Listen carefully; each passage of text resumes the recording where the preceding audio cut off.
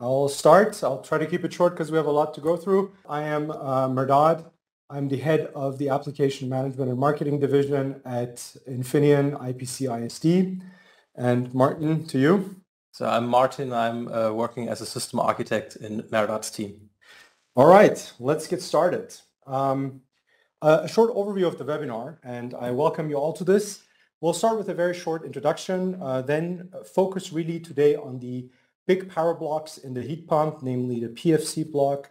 Uh, we'll talk about the leading edge technologies that Infineon offers, so our advanced technologies for this application and, and how they uh, drive design degrees of freedom. Uh, we'll then go into the next big power block, the, the drive, the compressor drive, then summarize the design degrees of freedom, and then have our final thoughts on this. So with this having said, let's start with the introduction. Heat pump, energy, that's a big topic. We all know we are at a energy scarce time due to various global um, situations. And it is clear that not only energy is a scarce and important resource, the effects of utilizing energy is another thing that is driving our future as and our planet, namely the emissions that are caused by the utilization of energy. And it is clear from this um, market picture that heat pumps are an essential changer for this future. And without dwelling too long over this, we are focusing today really on the power level of the residential area. And with that said, I want to jump already into the first big power block, the PFC. So we're looking at a simplified block diagram of the outdoor unit of a heat pump. And uh, here we see two, the, two uh, conceptualizations of this. Martin, you want to take it? So for different power levels, uh, we're looking at a single phase or three phase solution. On the left, you see the single phase solution uh, with a, a, single phase PFC connected to this, uh, the motor uh, for the compressor, outer unit fan auxiliary supply. On the right side, um, I will come to this later, is this three phase uh, system. So we start with a, a single phase PFC. And um, for the power levels we're looking at, we can't uh, use passive uh, PFC here, but we're looking at the boost and totem pole in detail now. So the simplest um, implementation of a PS PFC uh, is the um, CCM boost topology. We are using a bridge rectifier on the input and following this uh, we will have an inductor and a unidirectional switch and diode. It's very simple to control. It's very simply uh, simple to implement. Due to the bridge rectifier, uh, we are always uh, only having moderate efficiency. Um, given the voltage classes we're looking at, input voltage of 230 volt RMS, um, we will run into an output voltage of DC 400 volt here. There's always an option to uh, do interleaving, uh, meaning duplicating uh, inductor, diode, and switch um, to decrease um, the losses in the system and to reduce the ripple on the uh, input signal.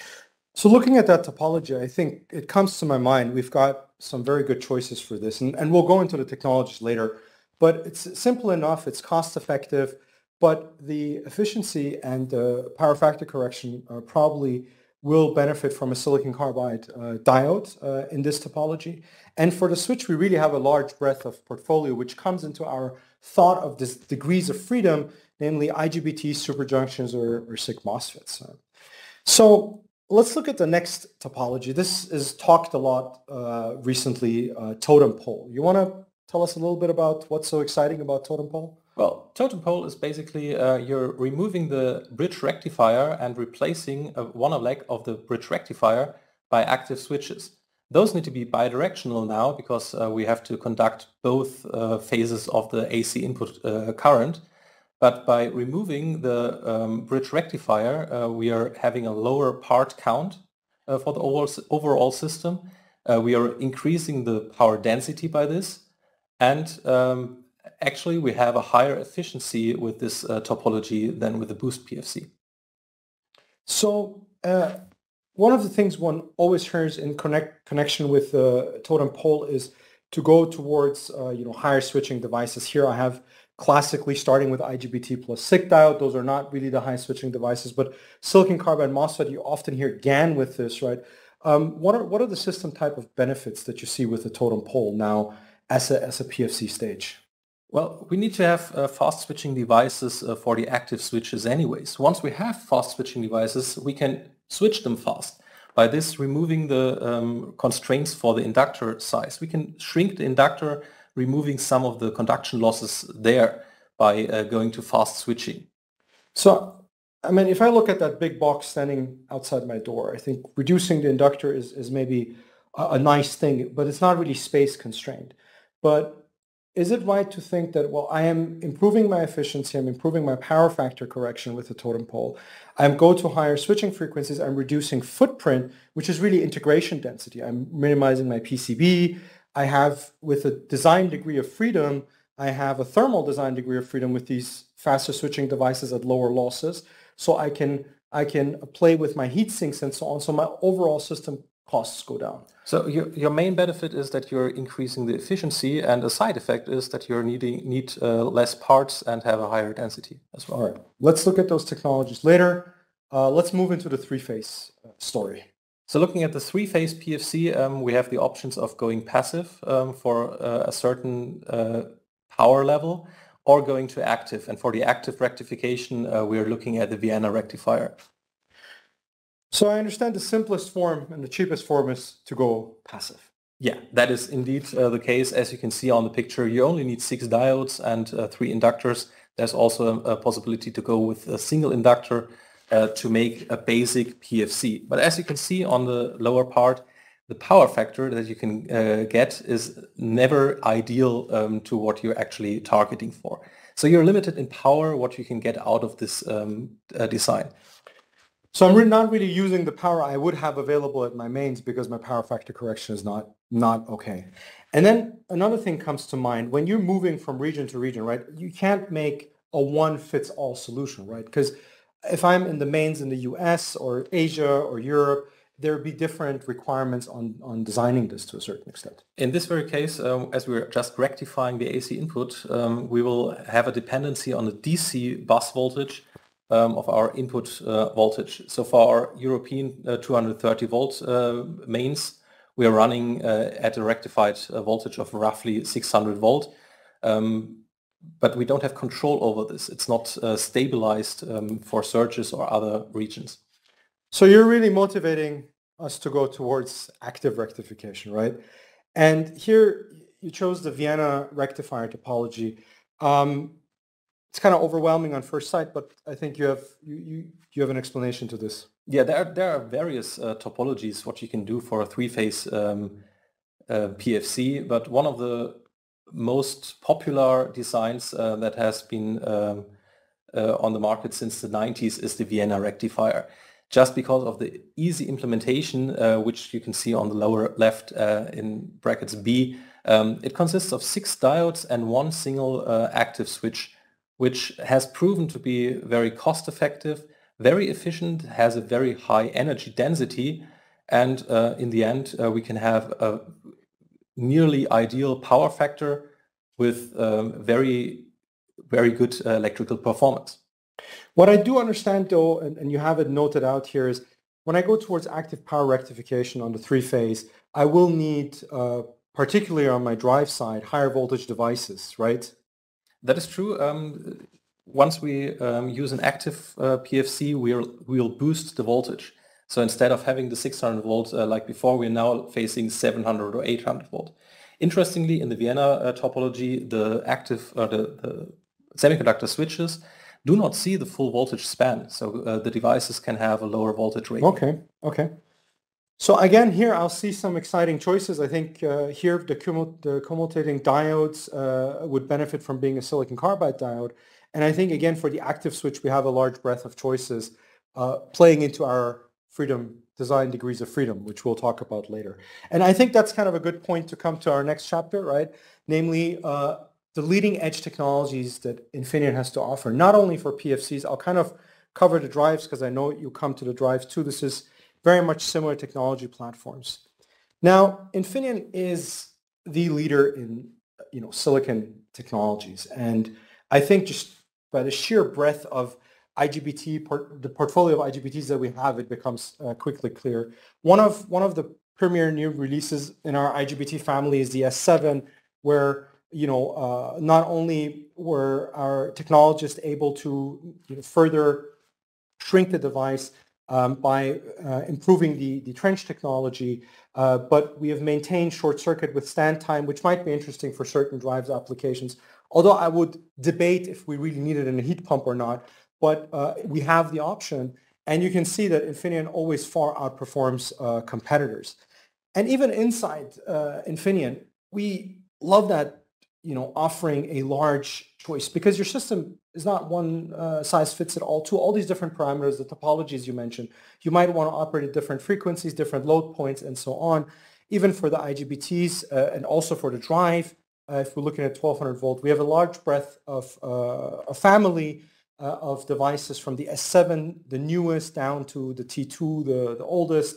Um, and, and they all have their unique trade-off curves between short circuit withstand time, um, total uh, losses, depending on the DVDTs. You always have a very good controllability in DVDTs uh, on, on the uh, IGBTs, and then the resulting uh, VC-SAT and short circuit uh, trade-off time. So for instance, if you want something that's geared towards switching, you can go towards the S, uh, S6, while the S7, the new generation, is is a, a more balanced device between short circuit, VC-SAT, and, and trade-offs.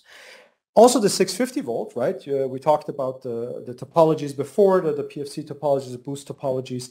Uh, we have the 650 volt uh, trench uh, technology, the T7, as sort of a relative to the to the seventh generation 1200 volt.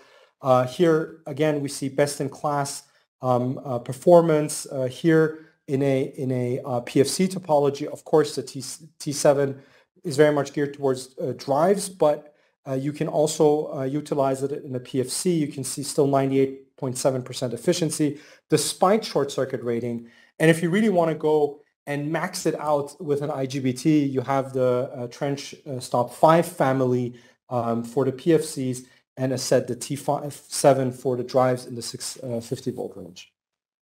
And, and you know, we also have to mention on this page the superjunction technology, a, a very popular technology for the boost CCM uh, technology. Mix it with the silicon carbide diode, again, best-in-class silicon carbide diode, and, and we really have best-in-class performance. Again, you can see by a large margin the RDS on capabilities in the packages and the, the efficiencies here.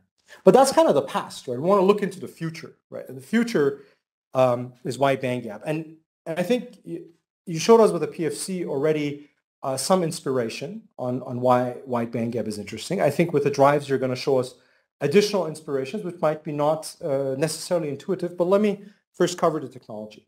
Um, Infineon is leader in silicon technology, and this means we want to be leader in wide bandgap too. And hence, we've developed technology that not only outperforms competitors, it is also outbests them in, in quality and reliability. And for this, we've built a portfolio that sort of mirrors our excellence in silicon into wide bandgap by having silicon carbide MOSFETs uh, in various voltage classes, GaN HEMTs in various voltage classes, and the appropriate driving and packaging technology around them.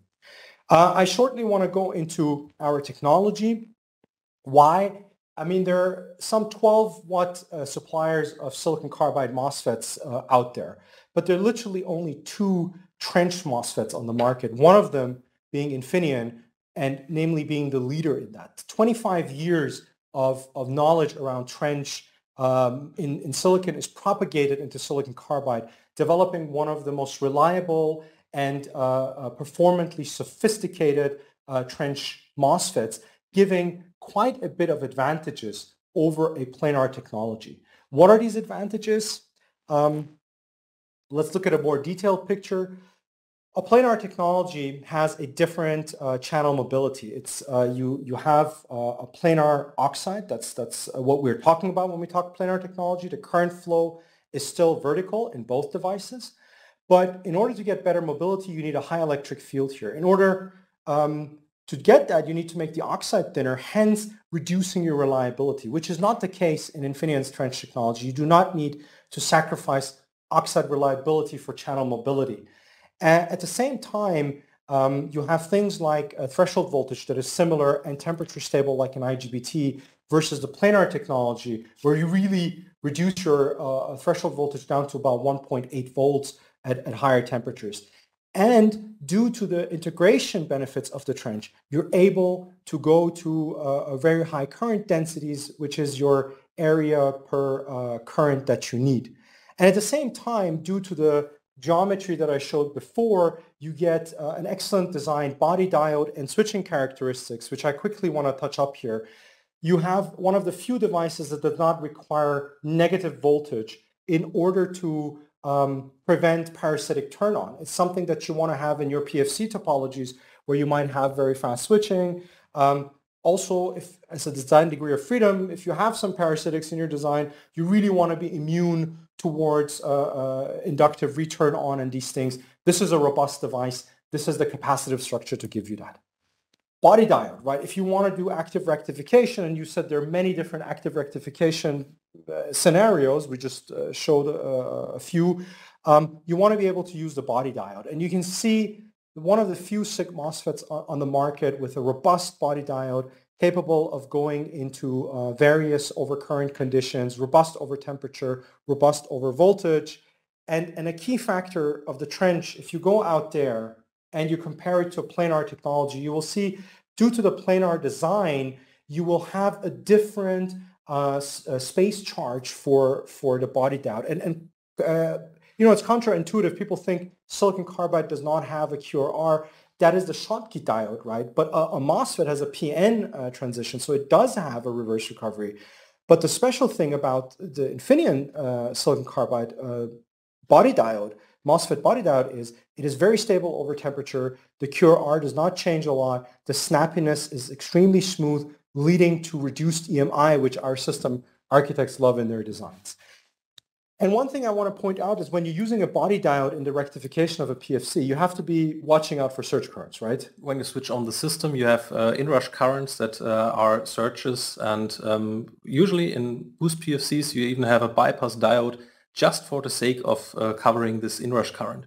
Yeah, and, and here you see, here you have a, a body diode that's tested to a certain um, extent for inrush currents. And if you can design your system to be within these inrush current uh, modes, this is something the body diode is tested for.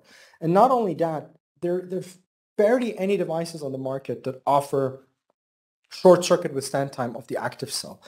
And the silicon carbide MOSFET, the 1200 volt, is actually a, a device that can do under the appropriate drive conditions at least uh, three microseconds.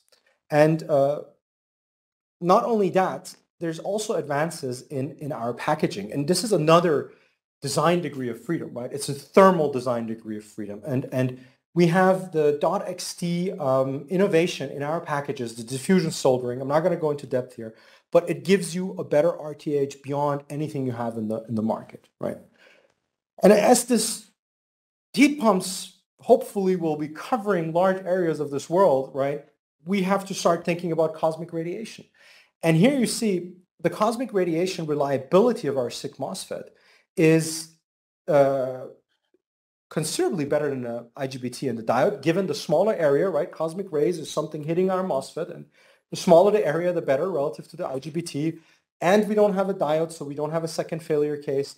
And on top, if you compare this to competitor, this is some of the best-in-class performance on reliability. So you really see our technology spans, and, and this is what kind of we want to show our customers, right? Our, our technology spans a, a large breadth from silicon to wide bandgap. And I didn't even go into GaN here because we think GaN might be the next uh, uh, stage in these applications, but silicon carbide, superjunction, IGBT will do the job for now. Um, we really have the full portfolio and we are leading edge at the silicon. We're leading edge at uh, the SiC and it gives us enormous interesting degrees of freedom. And, and with that, I want to go into the drives, right? Let's look at the block diagram of the drives. Uh, again, nothing new. Now we're just looking at these two, correct? I think uh, electrically they're practically the same topology. Well, they are, but we're not looking at, at the uh, compressor drives uh, as a standalone application. We're looking at uh, the drives in combination with the motor. So um, whenever we have a system um, of a motor with uh, its driving part. we have different types of losses in the whole system. Yeah, and, and that's where we want to go and look at the full picture. There we go. So when we're looking at uh, a motor system, then the converter losses are only one part of this. It's not the full uh, truth. The full truth uh, of the motor system is that you have transmission loss, mechanical losses, which the electronics cannot uh, do uh, too much about it. But one of the significant parts inside the motor losses are the core losses, contributing um, iron losses and permanent magnet losses. Those can be uh, uh, altered with uh, the electronics. Conduction losses in the motor uh, is also part of the losses, but usually insignificant. And then there's our converter losses. All right, let's look at these system losses and how uh, the semiconductor uh, influences these uh, sort of magnetic and mechanical parts of the system. So let's look at what is considered uh, the majority of the losses inside the motor system. It's the iron and uh, permanent magnet losses. How do they uh, come about? Uh, whenever we have um, a polarization change in a magnetic uh, system, we will have um, hysteresis in the magnetic materials. And by changing um, the magnetization, we will also have eddy currents adding to losses. Um, this happens with the ripple of the uh, input signal and also with uh, harmonics and other distortions on the sine wave that are additionally to the useful uh, sine wave frequency. So in principle, what you're saying is if I have a switch and a control loop that gives me a better sine signal, uh, I'm directly influencing losses in my motor, something that uh, usually people don't think about. That is true. Um, we cannot change, uh, we cannot uh, mitigate all the losses, but we can mitigate all the losses that are unnecessary, which comes in, in addition to an ideal sine wave. We can approximate this. Okay. So besides my obvious losses where sort of the converter technology comes into play, we are now extrapolating the switch into the into a picture. But let's still look at the converter losses just to summarize. So in the system, the converter itself uh, also contributes greatly to the uh, overall efficiency. But what you can see uh, in this uh, picture here is a comparison between the efficiency of the whole motor system on the left in the, in the foreground and the inverter in the um, right lower part in the background. And you can see, without going into the uh, depth here, that the, that the efficiency of the motor system reaches something like 95% in this example, while the inverter itself has 99%. So why would we actually uh, think about improving the inverter if it, is, if it has uh, such insignificant uh, contribution to the overall losses? And this is um, where we want to uh, emphasize not only the primary effects of creating a better efficiency in inverter, but also the contribution to the overall system efficiency. Excellent. So I'm getting a couple of percent point over having the best technology in my converter, but having the appropriate technology in my converter, I can influence some of the hidden losses that are part of my much bigger losses. Uh, I will call it physically wrong spectrum. okay. All right. Um, which brings me to the next point. Uh, right. Now, signal integrity across my, my switch, right? How does my switch make its signal? And, and that has something to do with the switching waveform, and that's what we want to look at next. And how does that reflect back on what you just said? So usually if we are talking about motor systems, we are talking about uh, restrictions of DVDT. We hear things like 5 volt per nanosecond as um, uh, the rating for a motor. But as you can see on the right, um, these are two different curves um, simulated with a silicon carbide MOSFET in blue and um, silicon IGBT in red. Both of these curves are following the same 5 volt per nanosecond 1090 signal. But as you can see, the shape of those curves is significantly different. The IGBT starts slow and accelerates uh, towards the end of its transition, uh, leading to uh, overshoots, leading to ringing, and leading to uh, higher frequency components in your EMI spectrum. Silicon carbide, on the uh, other hand, uh, due to the smooth capacitive structure, will also have a smooth transition when switching on and switching off, which leads to improved EMI, improved sine wave quality due to the predictive timings, uh, and also kind of uh, to lower losses. So we'll talk about the losses later, but let me just come back to this. I'm having the same DVDT here, and yet I'm improving the system. This is really a technological phenomenon, right? A, a property of uh, a unipolar switch versus a bipolar switch, a property of my silicon carbide versus my IGBT. And, and here I'm already at the same DVDT improving my system's EMI. I think in the next picture we'll uh, maybe talk a little bit more about EMI. And uh, I'm still staying at my 5 volts per nanosecond. We typically hear that 2.5 to 14 volts per nanosecond is sort of the range of a lot of motors. What I would like to challenge here also our listeners is if we're bringing that converter closer to the motor, we don't have these really long cables where these EMI requirements come from.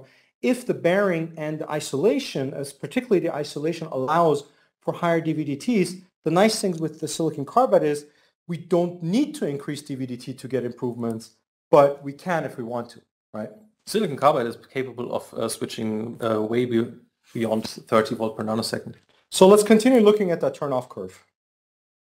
So we're looking at the very same curve uh, we saw before. Now with dotted lines, we also see the currents of the uh, signal, uh, of the switches. And what you can see here is that the current of the IGBT, the red dotted line, is not dropping to zero, but it stays on for a longer time after the switch uh, event has occurred. This is the infamous tail current. This is very low in uh, Infineon's IGBT technologies, but it's still there it's completely mitigated or omitted by silicon carbide MOSFETs. Looking at the turn on curve, uh, we now see uh, it has the same uh, shape um, of, uh, of the voltage signal in general. So the IGBT is also uh, starting uh, fast now and going slower here. But what I would like to talk about in more detail is the peak of the current. This current peak is coming from the reverse recovery of the commutating diode. And in silicon um, IGBTs, this is usually a silicon diode with ha which has a large uh, reverse recovery charge requiring the high uh, peak and the decay of this charge is rather slow. It also um, adds to the overall losses. Silicon carbide, on the other hand, still has QRR. It has a reverse recovery charge, but it's smaller and it's faster. And as I said before, and I showed quickly in the technology slides, Infineon's trench MOSFET has such a good behavior because snappiness is important for EMI, right? The way the way this kind of goes back, and and uh, uh, a body that that's stable over temperature that has a good behavior is something desirable, and again uh, brings in a, a, new degree of freedom, which enables you to make a better design around your around your system. Correct? True. All right. Now now that we have sort of looked at the individual components, let's let's look at the total system losses, right? Uh, and and see what happens uh, over frequency and over over these conditions. So what we have done here is um, we simulated uh, a reverse conducting uh, RC2 technology IGBT with a 650 volt, 260 milliohm uh, silicon carbide MOSFET. Um, the IGBT has the red curves and uh, silicon carbide the blue ones. If we design it to have similar uh, DVDT first of all. Mm -hmm. Secondly, similar uh, conduction losses at 5 uh, amps RMS of a sine wave current, which corresponds to 3, 3.5 kilowatt of output power. Um, we can still see that the IGBT has significantly higher switching losses or overall losses due to the higher switching losses. And this is with 8 kilohertz. On the right side, we can see if uh, we increase the switching frequency out of the audible spectrum into the 16 kilohertz and above uh, range, the significant switching losses will become even greater with the IGBT. The silicon carbide MOSFET, on the other hand, still maintains a low overall loss signature.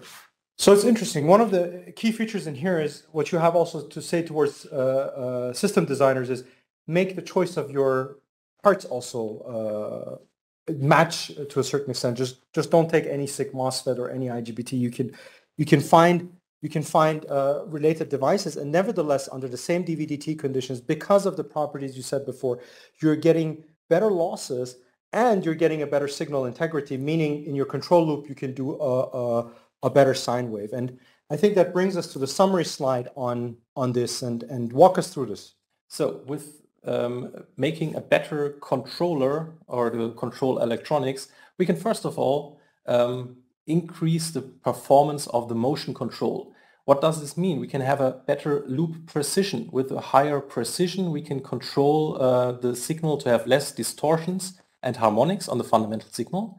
Um, we might even be able to increase the loop bandwidth to go to higher um, fundamental frequencies or faster reaction of the system, which leads us to the system efficiency. If we reduce our distortions on the signal, we have reduced eddy and hysteresis uh, losses and also uh, the same goes for the blind currents in the uh, copper losses.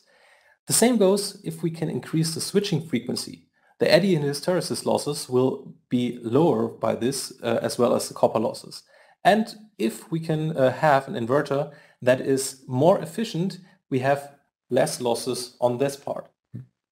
And we can also uh, take this approach and go to the uh, motor itself. So once we have uh, the ability to go to a higher fundamental frequency, we can uh, choose a different um, motor design, higher pole count motors, for example. Um, we could also uh, think about uh, higher RPM motors with uh, the electronics. One of the significant uh, things that I just mentioned before is the EMI. With cleaner switching edges, we have less EMI, but also we don't have so much common mode um, stress that would lead to uh, earth fault currents through the bearings, improving the lifetime of the motor. And with reducing our losses inside the motor, we might be able to open up some space for trade-offs in losses of the overall system, going to different uh, sizes, sized motors, smaller motors, or actually trading off losses on one part and the other. So you're bringing me back to my uh, talk about design degrees of freedom, right? And here now you're nicely demonstrating how switch technology um, and even control uh, loop uh, technology and software, right? Uh, also, by the way, a, a, part where Infineon is, is very strong in, right? You do need the right controller to run the sinusoidal um, fidelity that you want to. Uh, so really using new technologies opens up design ways of making our green application even greener, right? And this kind of brings me into this additional degrees of freedom. Here, we're sort of discussing three. You have a technology. The technology is your one of the degrees of freedom leading to other uh, design choices, meaning you can improve an existing system. Those are sort of like your upper two points if your controller allows, and even building a motor that is geared towards your technology. So that would be the other way around, right? So you can choose which way you want to go, right? And that brings me to the final part, the design degrees of freedom to kind of summarize it. I'll, I'll start with a marketing slide, and you have to forgive me for that.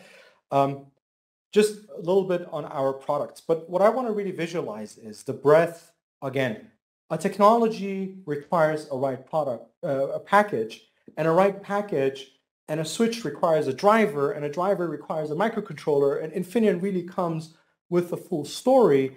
And with the technologies I said before, the breadth of IGBTs, silicon carbide, GaN, superjunctions, we really introduce degrees of freedom, including the packages, right? You can see here for the SiC diodes, we have different uh, voltage classes, we have different packages.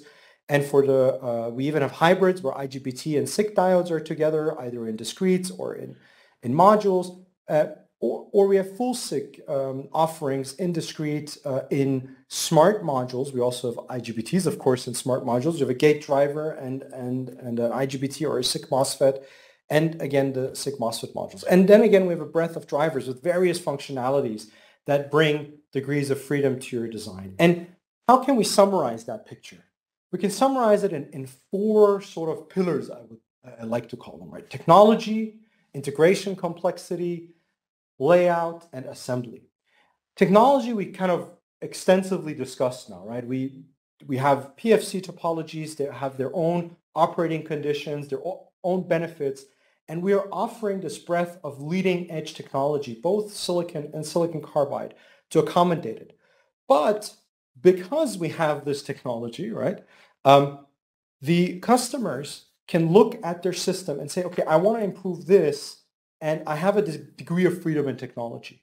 Now, next is integration complexity.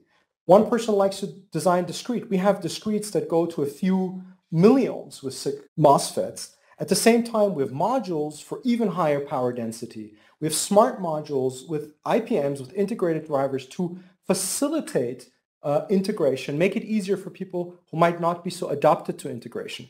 And our highest form of integration is when we have controllers, gate drivers, and power stage in the form of iMotion controllers, there, right? Power ranges will vary, but integration complexity, hence how the user does it. And that reflects on your layout. Your layout is your thermal design, your degrees of freedom that you have there, the choice and the parasitics that you get, uh, the power density that you get. Again, I talked about the .xt technology. We have it in modules, we have it in discretes.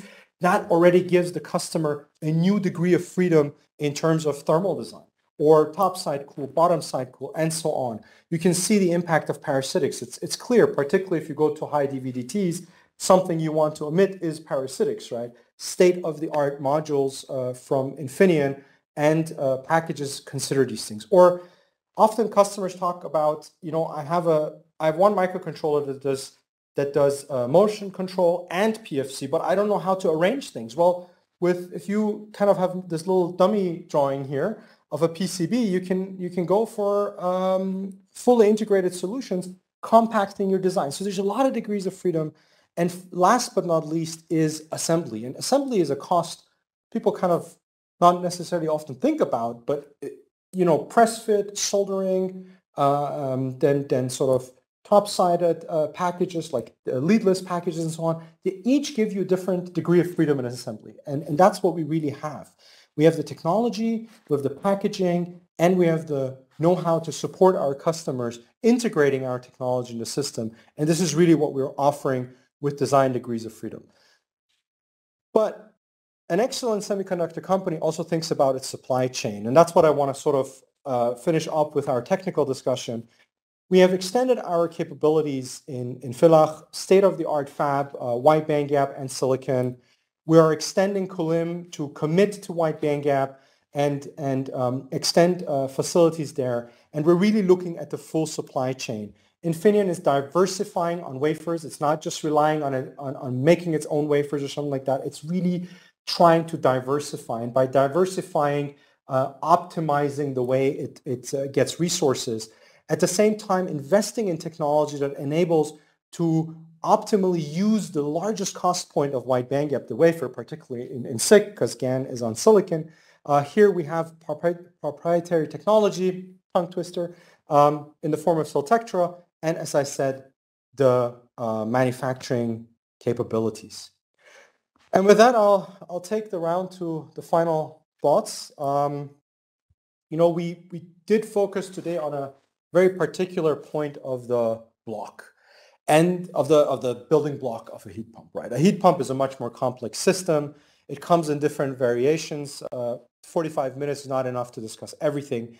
Infineon is really a semiconductor solution provider. We, we are investing in technology to make the world a greener place uh, with heat pumps, solar, renewable energies, all the way into automotive, big wind parks, and so on. Um, and for all of these applications, we try to be an, a solution provider.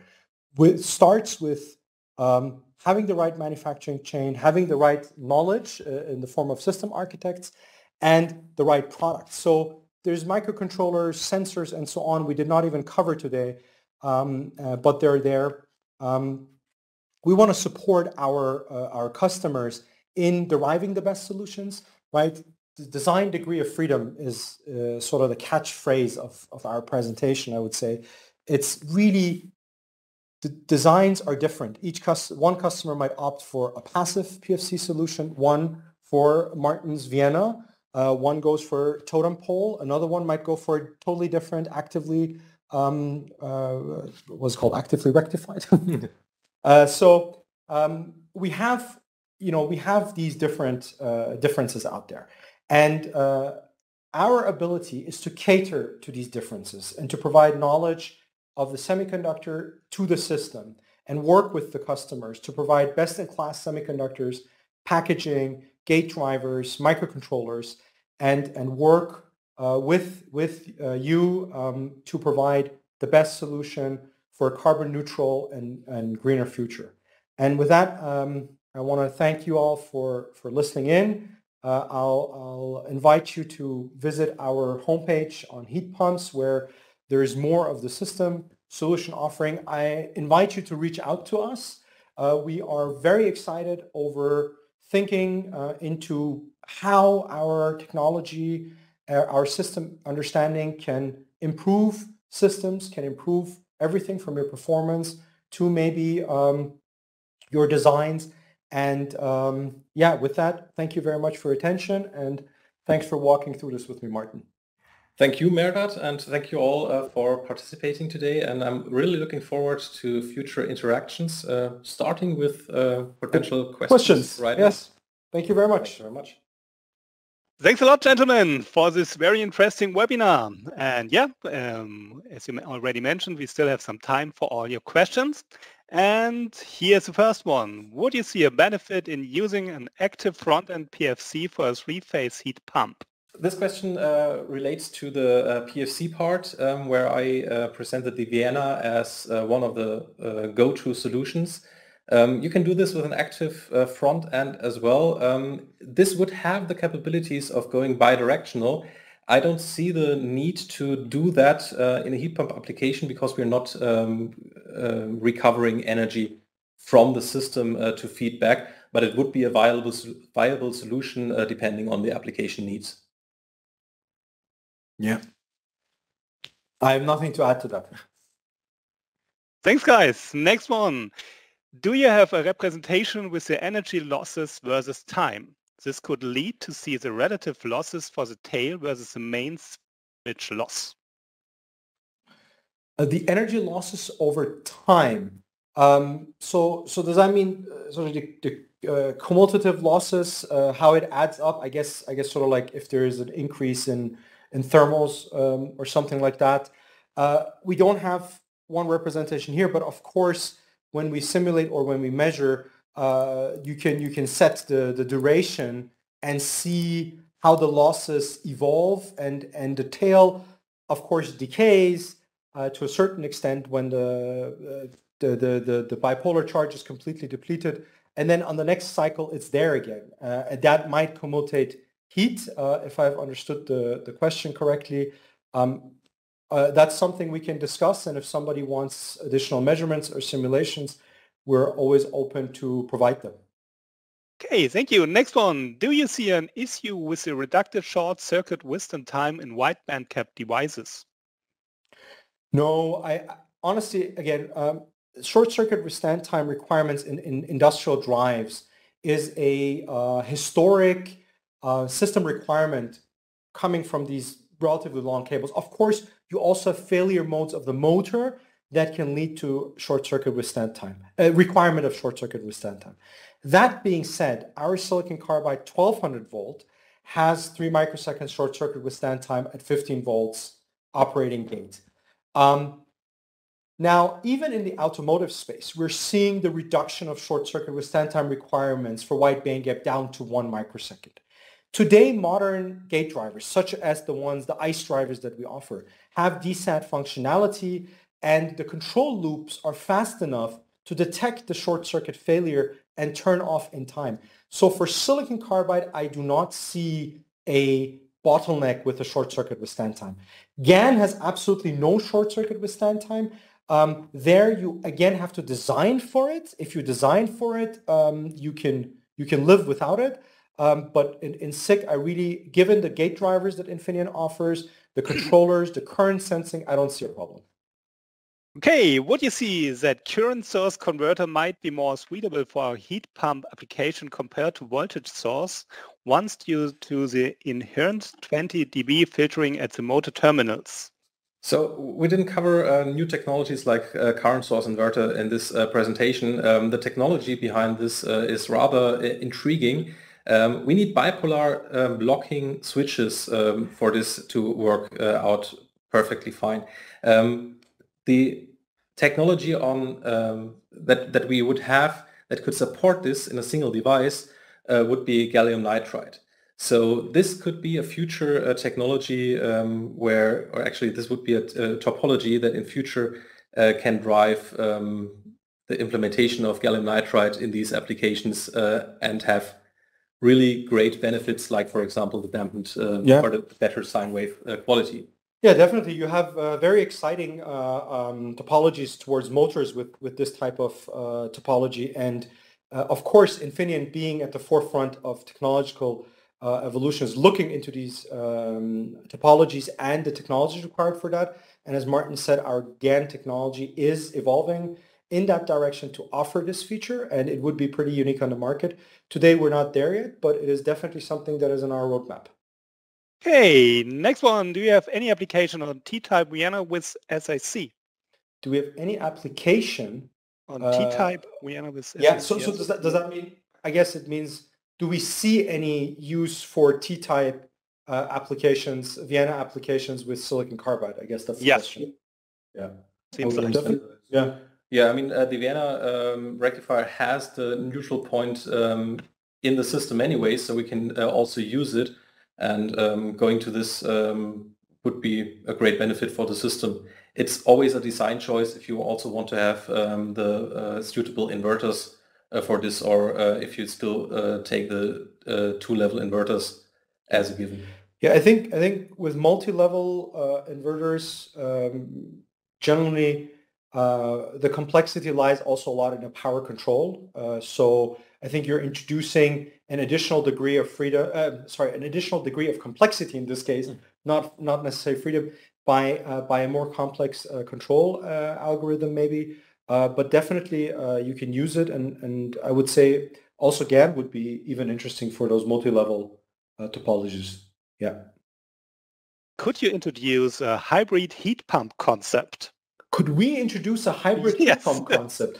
If uh, one of our partners wants to work with us to develop a hybrid heat pump concept, we're definitely open to that. We're not heat pump manufacturers. Uh, I, I'm not quite certain what. Um, uh, I mean, there there are various heat pump air to air, air to water. I- I don't really know what a hybrid heat pump is supposed to be, but whoever is interested and has an idea, uh, you know, we, we are always open to crazy new technology.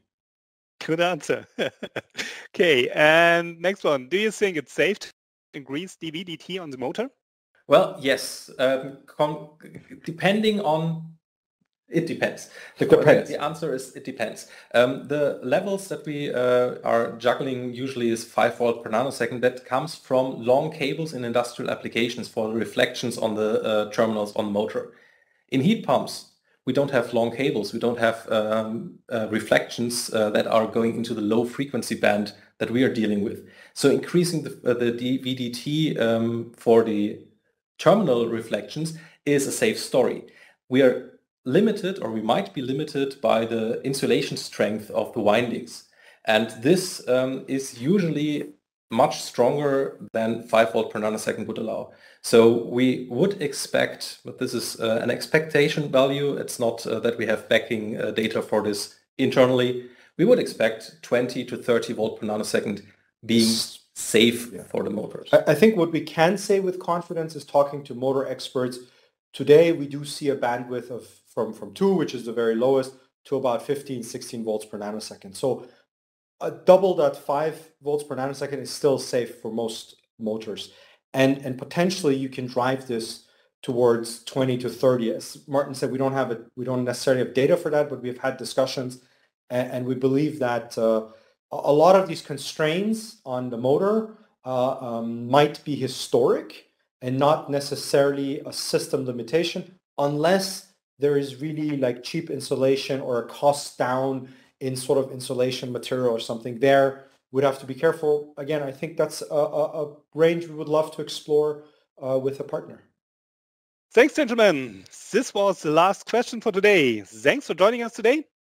We hope you'll join one of our next webinars. Have a great day. Take care and goodbye.